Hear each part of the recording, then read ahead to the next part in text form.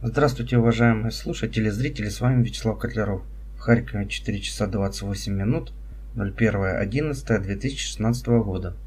В данном ролике будет озвучена информация, которая не вошла в ролик интервью для канала Enigma. Я увидел положительный комментарий, что ролик очень хорошего качества. Ну да, потому что делал его не я. Причем произошел интересный курьез, когда Алексей записывал интервью и потом прослушал звуковую дорожку, выяснилось, что мой голос полностью весь исчез из его записи. Остался только его. И так как многие знают, что я параллельно дублировал нашу беседу диктофоном, благодаря этому появился ролик интервью для канала Enigma. Еще хотел бы обратить ваше внимание, ВКонтакте есть чудесная группа, называется «Родник Лада. Куклы обереги». Я обращаю внимание на данную группу исключительно по собственной инициативе. Ссылку оставлю в описании. Пробую, если не забуду, и в сам ролик вмонтирую и ссылку, и название этой замечательной странички. Как со мной поделились замечательные люди, создатели этой странички, что есть куколка, которая называется «Пробуждение Ярилы». Парадокс Ярилы заключается этой куколки в том, что кукла держит сразу три солнца.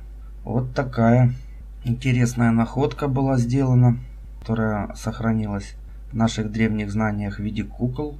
Наши предки через кукол передавали истинные наши знания.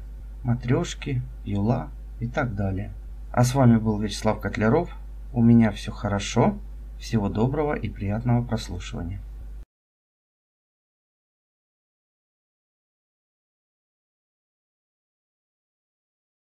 А какой-то э, будет канал на Ютубе? А, ну, как бы еще небольшой канал Enigma. Ага. Вот. Я потом как бы, если хотите, ссылку дам. И еще я, наверное, на ваш канал, соответственно, дам ссылку, потому что... Да, спасибо. Там можно на ты для удобства, чтобы... Ха, да, было бы намного проще. Да, да, да, я всегда стараюсь перейти. Возможности так. Ну, это гуглю, я... Ой, в смысле, ютубе ди... а, а, а, и не Я постоянно как бы... Ага, молчит. Значит, выдала только песни, а самой, к сожалению, самого канала YouTube не выдал мне. Поэтому... А, вот, Enigma тема, да? Или не? А, не, это, это музыкально. Сейчас, сейчас, если загрузится интернет, то я скину. Я всегда стараюсь оригинальное давать название. На чем остановились? А я сейчас включу, я тут э, звуковую дорожку писал. Так, сейчас. О, как раз я сейчас на фамилию лектора посмотрю, чтобы... Я начал про лектора, значит, книга. А, Тугутов это, который да. называется еще Лакшми, наверное, да? Да, да, да, Тугутов его фамилия, да? Ну вот, вот он э, подробно рассказывает, ну как рассказывает, то, что он, э, ему посчастливилось выучить это, то, естественно, он и делится соображениями. Если это сейчас идет запись, я всегда подчеркиваю, что мои знания не берутся из земных библиотек, не берутся из интернета мои знания. Причем всегда настаиваю, пожалуйста, проверьте, попробуйте, как говорится, уважаемые слушатели и зрители, найти то, что я озвучиваю в земных библиотеках. А самое главное, что мне постоянно говорят, что я не первый, найдите, кто был первый. Невозможно найти. Я просто знаю, что этого человека за последние 200 лет нету, который бы это все рассказывал. Максимально истинное положение вещей, конечно, полностью строение Вселенной нам, муравьям, не обязательно знать. Но э, то, что пересеча антарктический круг, мы окажемся в абсолютно новых землях, это должен знать каждый, как говорится, школьник, каждый ребенок. Это истина, которая, как мне, как кто-то пошутил, понравилось в комментарии, что опровергать знания Котлярова это равносильно, что опровергать истину. Кстати, довольно-таки забавный ролик. Это сейчас запись идет или это? Сейчас да. А, замечательно, да. А, великолепно. Сейчас выкладываю ролик, где он появится, скорее всего, только в Одноклассниках и ВКонтакте, так как правила Ютуба очень суровы. И ролик будет называться «Телевидение», ну, я сокращенно ТВ написал, ТВ подмазывается к догме Котлярова. То есть в этом небольшом пятиминутном ролике они уже освещают на телевидении очень аккуратно то, что я э, рассказываю на своих каналах. То есть они уже затрагивают сотовую модель, рассказывают. Понятно, что они там все неправильно говорят, но то, что они это объясняют э, зрителям своим и слушателям, что погодные эффекты происходят за счет того, что эта сотовая структура уже легче. То есть в данном ролике будет нам, зрителям сказано, что ученые только недавно выяснили, что есть ветра, которые имеют сотовую форму. Во как. И вот эти ветра необычные, они прилетают в Бермудский треугольник, и поэтому в Бермудском треугольнике гибнут корабли и самолеты. А те, кто не смотрел ролик э, «Тайна Бермудского треугольника раскрыта», посмотрите. Я там, если в двух словах сообщаю, что это гибель сам, самолетов и кораблей в 98% случаев это человеческих рук дело. Собственно, как и все землетрясения, это человеческих рук дело. Цунами, торнадо, тайфуны, это тоже в 98% человеческих рук дело. То есть под, э, общие при, принятые и признанные наши стихийные бедствия, 98% это человеческих рук дело. Возьмем, к примеру, лесные пожары. Ни для кого не секрет уже, или для многих не секрет, что в Сибири пожары создаются не сами по себе. То есть по тайге бродят люди с канистрами пластмассовыми, в которых находится бензин. И разливают этот бензин, делают, так сказать, поджоги. Таких людей немало. Работают эти люди каждый сезон. Их с каждым годом становится все больше и больше. Поэтому, кто не знает, я э, с полной ответственностью заявляю. 98% лесных пожаров в мире происходит потому, что это сделал человек с канистрой. Вот. Ты что, какой-то вопрос? Сейчас, сейчас. Угу. Да я не спешу. Можно и час, и два, раз так, такая тема. Я ж... Как, как удобно по имени обратиться? А, ну, Алексей. Дело в том, что ж бывают звонки разного характера. Я ж не предполагал, что звонок будет серьезный. Потому что бывают звонки это такого плана, э, там, здравствуйте, а скажите мне, как отколупнуть радугу, как я шучу, да, или из чего сделано солнце. То есть, если, да, да, есть, звонят это люди, и получается, я трачу время на Ну да. не- не- не- непонятно на что. Так, ну что еще можно так осветить? Ну вот, например, э, э, Земля, она получается состоит, состоящая из ячеек, но на, как сказать, по большей, э, в большей степени она состоит из большого количества воды, я так понимаю. Так, значит, по умолчанию, несколько миллионов лет на- назад наша сота была полностью земляная поверхность, полностью. На ней не было ни морей, ни океанов.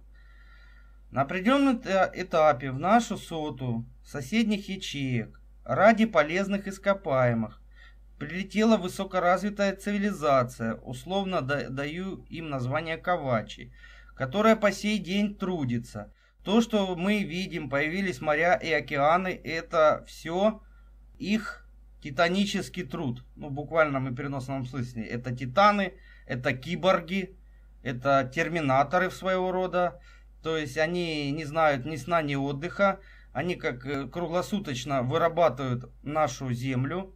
Забегая вперед, вся поверхность нашей соты, если мы не остановим их Кавачи, ну мы основных захватчиков не, не можем пока остановить, а Кавачи это будет вообще проблематично останавливать. Вся наша земля превратится в водную гладь. И, как я всегда подчеркиваю, фильм «Водный мир» Кевином Кёснером не будет казаться таким фантастическим. Вся фантастика не фантастика. Дело в том, что есть ячейки, где Кавачи поставили жирную точку в ее выработке, и появилась водная поверхность там полностью.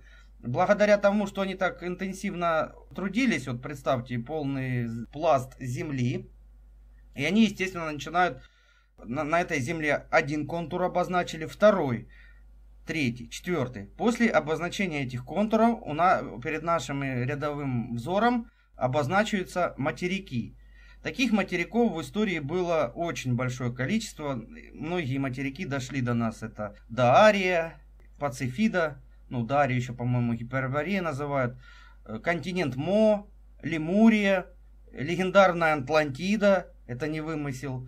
Все эти континенты пошли на дно. Следующий континент, который пойдет на дно в ближайшие годы, ну, может, 200-300 лет, а может и раньше, это Америка. На данный момент, если мы посмотрим на Америку в разрезе, то это перевернутая пирамида. Даже мы, люди, если долбанем по этому перешейку всем ядерным арсеналам, которые у нас есть, он переломится и континент пойдет на дно. Но нам доби- долбить не нужно. Ковачи работают и днем, и ночью. Полезные ископаемые они вывозят в соседние соты.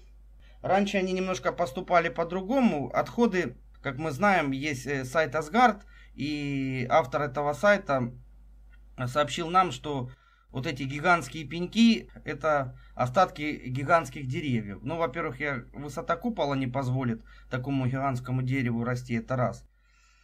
Вот, а во-вторых, я уже в том ролике сказал своем, что тайна кремниевых лесов раскрыта, что это из гигантской, скажем так, условно назовем, мясорубки бетонной, выливался бетон-фарш, который заставал в воздухе в виде сот. То есть они в начале отходы просто скидывали у нас как кучки. Хлоп, хлоп, хлоп, хлоп. Сейчас э, отходы они аккуратно сбрасывают, в основном они сбрасывают в пустынях. Собственно, за счет этого и пустыни и появились на самом деле. То есть нам ученая, даже современная наука говорит, пустыня Сахара каждый там, год увеличивается там, э, там, на километр, да. А мы теперь с вами, уважаемые слушатели и зрители, знаем, она увеличивается на километр только потому, что из дна океана поднимают землю, и у них технологии настолько уникальные, что они эту землю умудряются высушить до состояния песка и высыпать, высыпать, так сказать, в это в пустынях. Вот, поэтому все, что мы видим, это все полностью, и материки даже, помните, как я в самом первом своем ролике пошутил 25 апреля этого года, что я не знаю, честно, кто выкопал Черное море, но то, что его выкопали, это однозначно. Яркий пример э, Аральское море, которое также было выкопано, которое погибло, вот, высохло, потому что оно было искусственное, все искусственное. Вот, я пока все жду вопрос. Ну, а вообще мне вот всегда казалось, например, еще из курса географии в детстве, что мировые океаны занимают гораздо меньшую площадь, чем я вот сейчас смотрю. Такое ощущение, что раза в два, как будто они на самом деле больше. Получается, суша занимает, ну, условно скажем, третью часть, uh-huh. ну, вот, даже может четвертую или пятую, а я думал, что ну где-то соотношение, если не один к одному, то, по крайней мере, там, ну, один к полтора. Вот. То есть, э, может так быть, что за какое-то время получается, э, вот это соотношение увеличилось. То есть как будто суши, суши стало меньше, а океана больше. Это, это можно как-то, ну, как сказать, в короткий промежуток времени увидеть вот эти изменения? То есть там за 10 лет, за 20, за 30? То есть... Э... Изменение ландшафта, то есть увеличение э, у количества воды на, на Земле и, и, соответственно, уменьшение суши. Да, все зависит от тех, кто, как я говорю, день и ночь трудится. То есть, если им придет подкрепление, они будут еще более серьезнее трудиться. Допустим, есть же вообще еще другие вещи, которые вот появился ни с того ни с сего, там в районе Черного моря, это огромный кусок земли за ночь. И вода отошла на несколько километров это где-то 5 лет назад, по-моему, это сообщение появилось. Показали видеосъемку, вот смотрите, как было. Здесь еще вчера был берег, а теперь берег отошел. Причем он отошел не, не потому, что море опустилось, а потому, что огромный пласт земли появился ниоткуда за ночь. Ну, я детально не копал происхождение этого пласта, но главное, что это имеет место. Поэтому, естественно, э, можно увидеть это в теории, но на практике маловероятно, что скажем так, в течение века человек может, скажем, зафиксировать это изменение. Ну, ну нет, в течение века возможно, вот. Нашим потомкам, конечно, будет очередной потоп, когда очередной континент, в данном случае Америка, пойдет на дно. Естественно, вода подымется и пойдет по всей Африке, по всей Азии, а правильно говорить Асия. Вот, на, по-моему, на англоязычных картах до сих пор на некоторых сохранено истинное название не Азия, а Асия. Вот, также вся Австралия может э, оказаться под водой. Вы ж все, уважаемые слушатели и зрители, обратите внимание, что Австралия идеальная поверхность, как лист бумаги. То есть такое ощущение, что гигантский ковш просто прошел по всему материку и идеально снял поверхность. А если Австралию изучать, то там можно найти уникальные дороги, которые длятся на многие сотни тысяч километров. И, и в ширину они не маленькие. Собственно, эти дороги можно находить не только в Австралии, но и в Сибири, по всему э, миру. Происхождение этих дорог стараются скрывать, вернее, не происхождение, а вообще существование этих дорог иногда стараются скрывать, в частности, в Сибири. Но есть замечательные ролики, если не ошибаюсь, на канале Валерия Иванова. Там есть два ролика, где он подробно показывает, рассказывает эти гигантские дороги, которые... Ширина дороги, допустим, 100 метров. Вот какая техника ездила еще сравнительно недавно. Вот э, сегодня, допустим, я построил ролик, уважаемый Юрий Тимовский, ТМ Студио, э, снял разоблачительный момент про одного исследователя. Но я сейчас как бы не буду... Все, все поняли, про кого он сказал, но он не озвучил. Значит, Юрий, в принципе, во многом прав то, что он показал в ролике, так и есть. Единственное, что Юра заблуждается в том, что на самом деле было 200 лет назад э, ужасная катастрофа, о которой, скажем так, осталось немало артефактов. А, ну да, я помню, я смотрел такой ролик. Вот, ну сегодня я посмотрел, то есть он э, выложил очень много хорошей инфо информации. Если он самостоятельно ее накопал, это очень хорошо. Если многие блогеры пользуются помощью своих подписчиков. То есть подписчики многим блогерам присылают информацию, и блогеры просто ее зачитывают. Ну, ничего страшного, и в том и в том случае, неважно. Юрий сам накопал эти ответы насчет трамваев и насчет освещения тех лет. Или ему подкинули эту информацию. Да, очень, очень все близко к правде, за исключением того, что Юрий все-таки настаивает, что ход цивилизации у нас был так, как в, в, исто... в учебниках истории нам рассказали. То есть вначале каменный век, потом железный век, там копья, стрелы, там алибарды, потом какие-то мушкеты и так далее. Нет, на самом деле 200 лет назад, а точнее с 1780 года, после серьезной катастрофы, неважно как она была, была, мы были откинуты вот сейчас до феодального строя, то есть еще 200 30 лет назад, или сколько там, 250, э, технологии были э, в десятки раз превышали те, в которых мы сейчас живем. То есть сейчас мы по сравнению с ними в каменном веке. Тогда была техника, которая не использовала ни бензин, ни керосин, ни солярку, там, ничего там, вот, ни ток, ни газ. Вот, пока все. К слову, если вспоминать курс географии, э, ну я помню, что, например, если взять получается, Австралия, например, она, если ее как бы по глобусу приподнять, она идеально входит в то место, где, по-моему, Индийский океан, вот в то место, а Северная Южная Америка, если ее подвинуть э, к Евразии, то, то получится как бы такой единый континент, как, который был раньше. То есть считается, что раньше был единый континент, и он как бы разделился. Ну есть, да, но это вот эти контуры, они появились исключительно благодаря технике, которую я обозначил 20 минутами ранее. То есть это все-таки техника вырабатывала вот эти контуры.